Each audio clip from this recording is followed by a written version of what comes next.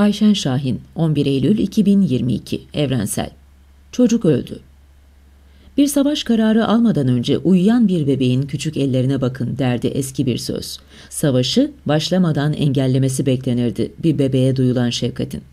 İki yaşında bir bebek, bir çocuk öldü istismar yüzünden, tecavüzden. Yanmadı dünya. Tekrar edebiliyor musunuz bu cümleyi içinizden? Sesli okuyabiliyor musunuz? Çocuk öldü. İki kelimelik bir cümle binlerce ton ağırlığında çocuk daha iki yaşında. Çocuk öldü. Ona tecavüz eden yaşıyor hala. Otopsi yapmayın diyenler, o rapora düştü yaz diyenler hayatta. Rapor değiştirtmek için araya girenlerin bir siyasi partisi var. Hastane önüne yığılan koca bir sülale var. Haberi yapan gazeteci Evrim Kepene'yi tehdit eden demiş ki bizim sayımız 12 bin kişi. O 12 bin kişi aldığı nefesi kendine hak görüyor. Çocuk öldü. Aladağ'da tarikat yurdundaki yangından sonra bazı gazeteler şöyle yazıyordu. Onu öğrenci, 12 kişi hayatını kaybetti. Çocuktular oysa. 10 çocuk öldü. Yanmış bedenleri hala içerideyken birileri resmi dilekçe yazdı. Buzdolabında bulunan etlerin bozulma tehlikesi vardır. Buzdolabındaki etlerin derneğe teslim edilmesine karar verilmesini saygıyla dilerim. Dilekçeyi yazan avukat hakim oldu. Yazdıran tarikat hala var. Çocukları tarikat yurduna yönlendiren Milli Eğitim Müdürü hayatta. 35 kilo et sahibine teslim edildi.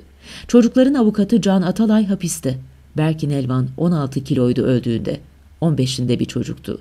Onu vuran polise 16 yıl verdiler. Ufacık kalan bedeninin her bir kilosuna bir sene ceza. Tutuklamadılar tetiği çekeni. Hayatta aynı havayı soluyor 80 milyonla. Berkin'in de avukatıydı Can. 18 yıl ceza aldı. Cezaevinde. Rabia Naz 11 yaşında öldü. 11 yaşında neşe dolu bir kız çocuğunun intiharına inandırmaya çalıştılar adli tıp raporlarıyla. Babası yana yakıla haykırıyordu. Faili işaret de ediyordu. Akıl sağlığı yoktur diyebildiler acılı babaya. Aydınlatılamıyor ölümü hala. Bu davada adı geçen siyasetçi hayatta hatta aktif de hala. Bir mafya lideri onun hakkında dosyalar açıklıyor. Gazeteciler teyit ediyor. Rabia Naz öldü. Çocuk öldü. Adam herkesle aynı havayı solumaya devam ediyor.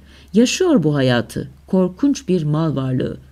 Vail El Suud 9 yaşındaydı. Bir mezarlık kapısına kendisini astığında ayrımcılığa uğramıştı Suriyeli diye. Çocuk öldü. Mülteci nefreti üzerinden siyaset yapanın oy oranı yüzde beşleri gösteriyor anketlerde. Van'da içi mülteci dolu bir minibüsü taradı jandarma. Dört yaşında çocuk öldü. Üzerine bir giysi örttüler sokak ortasında. Emri veren, tetiği çeken herkes hep hayatta. Muş'ta bir çocuk yatılı Kur'an kursunda kapıya asılı halde bulundu. Çocuk 12 yaşında, kapının kulbunun yüksekliği 1 metre. Ölmek için bu nasıl bir seçim diye sorgulamadan intihar teşebbüsü denilebildi. Kimse sormadı neden yatılı oluyor Kur'an kursları. Samsun'da iki buçuk aylık Kübra bebek açlıktan öldü. Babası iş kazası yüzünden sakat kalmıştı. Sosyal Güvenlik Kurumu hiçbir maaş bağlamamıştı. Derin yoksulluk, ekmek bile konamayan sofra açtılar. Çocuk öldü. Çocuklar ölüyor. Açlıktan, ayrımcılıktan, tarikat yurtlarında, istismar yüzünden ya da yasal bir mermiyle. Katilleri koruyan bir madde illa bulunuyor. Çocuk öldüğüyle kaldı. Ceylan Önkol 12'sindeydi havan mermisiyle öldüğünde. Evinin önünde polisin yaylım ateşiyle öldürülen Uğur Kaymaz'la aynı yaşta. 15'inde ölen Berkin'in annesini meydanlardan yuhalatanla 15 yaşında ölen Eren'in annesine binlerin önünde kan parasını nakit öder gibi ev anahtarını göstererek veren de aynı kişiydi. Ensar'daki çocuk tecavüzüne bir kereden bir şey olmaz diyenin partisi bütçe yapıyor, pek çok bakanlığından çok bütçeyi yatılı Kur'an kursları ve tarikat yurtlarındaki istismar için birkaç münferit vaka diyen Diyanet işlerine veriyor. Çocuklar ölüyor. Altılı masada çatı aday tartışması büyüyormuş. İyi Parti son dakika satar mıymış? Davutoğlu yine bir şeylerden alınmış. Babacan Ekonomi Bakanlığı ile yetinecek miymiş? Kimse merak etmesinmiş. HDP o masada kesin yokmuş. Altında üstünde hiçbir yerinde hiç yokmuş. O kadar yokmuş ki sanki hiç var olmamış. Herkesin maşallah ne çok derdi varmış, ne çok ajandası, ne çok şartı, ne çok beklentisi. O beyaz örtü serilmiş yuvarlak masayı üzerindeki yerel yemek dolu tabaklarla birlikte şöyle deviri vermek istiyor insan bağırarak. Çocuk öldü, çocuklar öldü, çocuklar ölecek. Herkes lanet okudu iki yaşındaki çocuğun ölümüne. Şaşırmadı kimse otopsi raporunun değiştirtilebileceğine, birilerinin bu iş için devreye gireceğine.